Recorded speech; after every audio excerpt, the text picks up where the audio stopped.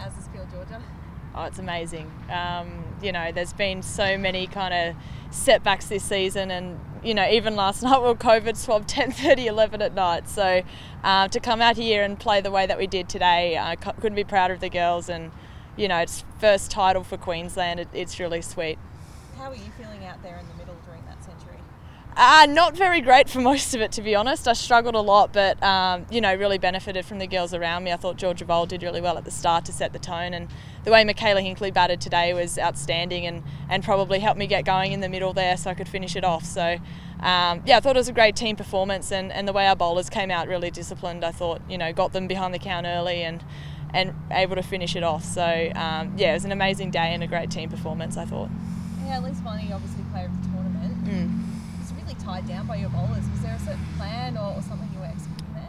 Um, we just really we uh, going off the game that we played against them last time. We probably bowled too much width to her, and we just really wanted to keep it really tight and, and know that we knew she was the key to their lineup. So um, you know she might not be batting as freely as maybe she did um, last time we played them. So if we could keep it really good lengths on, on off stump, um, we knew she wouldn't probably take too many risks there, and then try to get her behind on the count and build pressure that way. And Lilly Mills, her second game, picks up three wickets in the final. How impressive has she been? She was incredible. She's worked so hard all year, and um, it's been really tough for her. Obviously, JJ being kind of our number one spinner. So um, the way that she's came out, um, she probably didn't bowl as well as she would have liked. Bowled in some tough periods in, in her first game against New South Wales, and um, she came out here and from ball one, bowling in the power play, she was spot on and um, picked up three really key wickets too. And um, yeah, her economy, she probably only went about three and over. So um, yeah, she was a, a, real key bowler for us today. And how well has the squad been able to step up this season with a few outs and players in now the team with injury and Aussie duties? yeah, it's been um, it's really nice to see. Really proud of them all, obviously, and um, yeah, I think Courtney Sippel's really stepped up this season, coming into the team, debuted in the first game, and has played all, all the games, and um, been, been really consistent bowler for us. And um, I think the way Georgia Prestwidge has come back after missing out on a few games, she's been um, you know much improved and and really deserved a spot there too. And um, it's made it a bit hard, hard for selection at times. And um, yeah, I think the way the young girls have stood up, I think everyone at some point this season has really contributed um, all the way down the order. So it's it's really pleasing. I think you know we've got you know we've got a squad of 13 here today, but everyone's a you know really deserving um, title holder, and and the girls that aren't here too. And the season didn't start that well for you guys. It was in the first two games. I think Holly said you guys kind of gathered in a room and as players and talked about how you were going to approach the rest of the season. How did that change things? Yeah, I think we can give a lot of that down to JJ and the way that she's led this group. Um, we didn't get off to the start that we wanted at all. We probably lost two of the games to two of the teams that we thought would have been easier wins than um, perhaps some of the ones that we came up against later. So um, we are really disappointed, kind of the way that we played, and obviously rain was affecting it as well. So um, I think the way that we bounced back, JJ obviously sat us down in a room, and we had some really frank discussions. And um, from then, it's kind of our backs are against the wall. So we knew we had to win, and we had to win big. And I think we came out and won with three extra bonus points in the two games against WA the following week. So I think the way that we bounced back from there and our whole second, back end of the season's been brilliant. Um, and I've been yeah really impressed by everyone with all the contributions. And can you just take us back to last night? When did you find out that things had changed and that you needed to have a test? Well, I was about to go to bed, um, and I think a few of our girls were in bed, um, maybe around nine o'clock.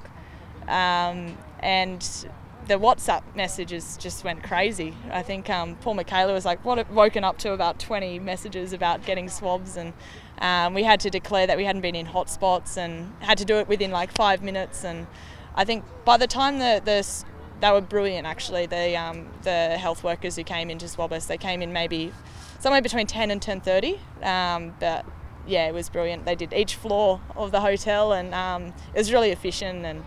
Um, yeah, it's a bit of a nervous wait overnight, waiting for them all to come back negative. But um, yeah, it's really nice. I think they kind of put us up the, the pecking order a bit, so we are able to get the results back really quick. So yeah, really appreciate all the work from the CA medical staff um, with that one. Yeah, big relief this morning. I think 7 a.m. it all got given the clear. Yeah, yeah. I think I think the first thing I did when I woke up, I checked my phone and to see a message from Vic Health or something. So um, big sigh of relief, and um, that we're all able to get out here and play today and. Yeah, obviously there's a bit of a bit of rain at the start of the day, but you know that probably settles settled us a bit because we're so used to the rain this season. So, um, yeah, it, it, was really nice to get out there and play full 50 overs. And just with the heat winning two trials in recent years, now WNCL for Queensland, what will this mean for Queensland cricket? Oh, it's so special. I think you know the Queensland Fire have been in five or six finals maybe, and um, yeah, I think we're going through a really nice little period at the moment. Obviously, kind of had some pretty good consistency in WBBL, even though we didn't win this year with the Heat. Um, kind of really competitive in the semi-finals, and um, yeah, winning our first WNCL title. I think it shows the good talent that's coming through throughout the system, and um, yeah, hopefully we can we can try to create a little, um, you know, uh, kind of try to replicate what New South Wales have done over the years. So we'd love to. We, we said that this isn't the pinnacle for us. We want to be here, you know, four or five years down the track as well. Like being consistent, making the final, and winning winning titles. Roger, it's been a pretty intense season for you guys between the WBBL hub and the ups and downs of the schedule changes. How satisfying is it to finish off with the, with the win in the WNCL? Yeah, it's it's brilliant. It's been a long season, kind of yeah May June that we started, and back at that time we didn't know we'd, we'd, be playing any games, and to get the whole WBBL in the hub obviously was challenging for some people, and um, but I think for the most part, we really embraced it and we're just so happy to be playing and um, to kind of come back here. It's probably quite unique having all of our WNCL matches after the Big Bash. So, um, despite our slow start, which we seem to have a bit of a habit of, um, it was, yeah, it was really nice to kind of come out and finish the season. And I think just the way the whole tournament's been run, it's been so flexible with the scheduling, um, which is great. I think it, it um, puts CA in a really good light. And the way that we're, we're switching grounds against ACT and um, you know the states are changing dates of games like real like um, you know really short notice. Um, the way that that was able to happen to bring the tournament together, I think, was exceptional. And what does the next little bit look like for you? Back to work? yeah, I need to find a job. Um, yeah, I think well, I'll probably have a little bit of time off, and then um, yeah, go go locum job hunting on the on the medical network. So um, yeah, probably get a bit of work in during the off season, and then yeah, once we start up back yeah June-ish, I'll, I'll be back training and hopefully a bit of work on the side. But we'll see how we go. And celebrations tonight? Absolutely, yeah. Yeah, I think you know Ruthie's going to get a bit, a bit of a tour around our hotel and probably around everywhere we go for the next week. Um, we'll probably stay here for a little while and then um, yeah, see see where it takes us. I think um, I'm not sure whether we're able to reserve the area at our hotel, but we'll see. Obviously, not the result you guys wanted today, Junior. What do you take out of the match? Yeah, um, disappointing to um, have a really great season as a team and, and finish that way. Really proud of the girls. There's you know a lot of inexperience in the side, but really pleased the way that sort of went out and attacked it. And um, yeah, obviously Queensland are a pretty quality side and. Um, really well led today by Georgia Redmayne. So um, yeah, we just weren't quite up to the task, but I'm, I'm certainly proud of everyone's effort. What do you think the younger players might take out of this? They obviously don't get much game time when the Aussies are around, but they've got three games and pressure games now. Yeah, exactly. I think it's about um, learning to execute their skills under pressure, and they can certainly take out. Um, there's nothing like playing out in the middle. You can have all the net sessions in the world, but really nothing simulates a game like being a part of a match and playing under pressure as well is, is key in their development. So um, I was really pleased the way that they went out and batted today. I thought that was a real step up from um, the two games against Perth. So I think just knowing that um, you know we want to keep pushing the game forward and execution is key with both the bat and the ball. And um, we talk about making errors, but making sure that we make positive ones. And I felt like um, for the most part today we made some really positive errors. And um, if that's the way that, that girls are being dismissed, then so be it. Yeah, she's a ripper. Um, we always joke about the fact that she probably took six months to warm up. Um, the the Kimmy that you sort of get the impression of um, when I used to play against her when she represented Ireland, um, and then what you actually um, get behind the scenes are two diff- very different Kimmys, and we bloody love her here. Um, but she's a, a, super super talented cricketer and a real addition to the Victorian setup with both bat ball and in the field.